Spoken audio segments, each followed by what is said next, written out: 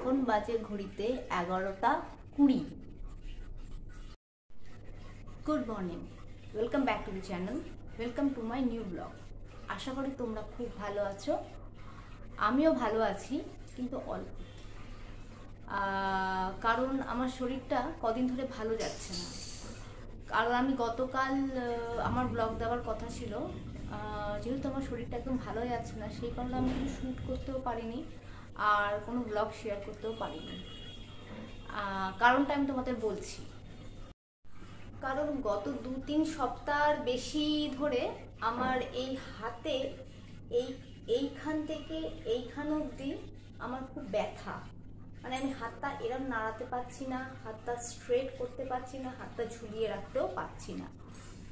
তো আমি ভেবেছিলাম যে এমনি ব্যথা হচ্ছে, তো আমি এমনি ভলেনি স্প্রে মুভ স্প্রে সবই দিয়েছি। তো তাতেও কোনো লাভ হয়নি। তো এখন তো করোনা সিচুয়েশন চট করে বাড়ি থেকে বেরোতেও পারছি বাড়ির সামনে সুরক্ষা আছে। তো সুরক্ষাতে ফোন করে অ্যাপয়েন্টমেন্ট নিয়েছি। আজকে বিকেল সাড়ে চারটে ডাক্তার বসবে।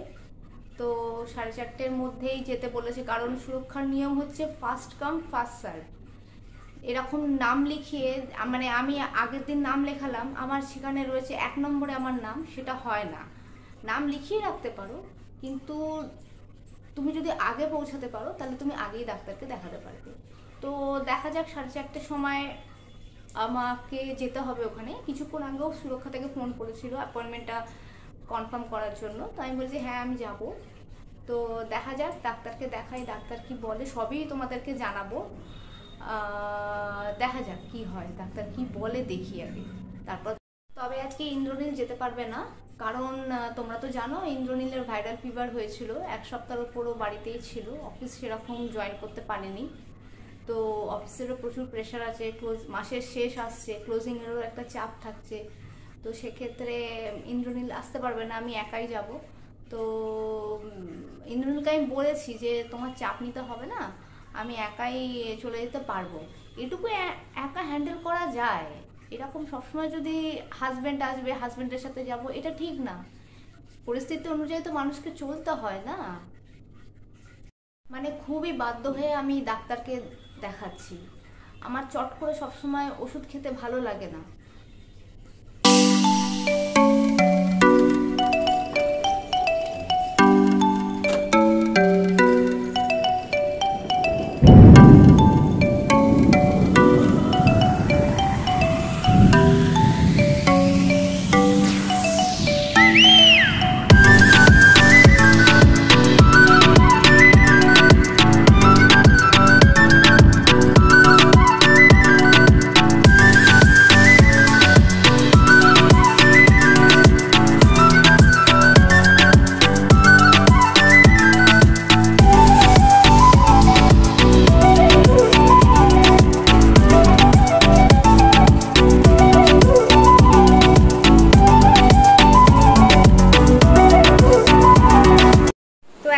রেডি হয়ে গেছি, এবার বেরোবো।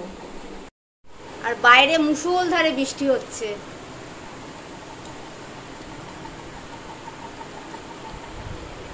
মুষলধারের বাইরে বৃষ্টি।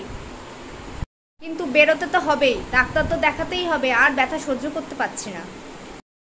ডাক্তার এখনও আসেনি, সাড়ে চারটে, পাঁচটা বেজে যাবে বলছে।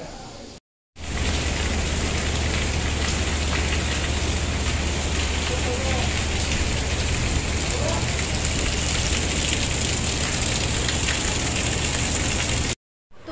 জাস্ট বাড়ি ফিরলাম। কিন্তু আনফর্চুনেটলি আজকে ডাক্তারকে দেখানো হলো না।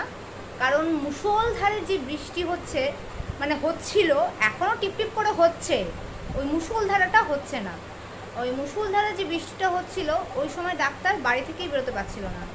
তো সে কারণে ব্যাড লাক ডাক্তার দেখানো হলো না। তো আবার মঙ্গলবার দিন ডেট দিয়েছে।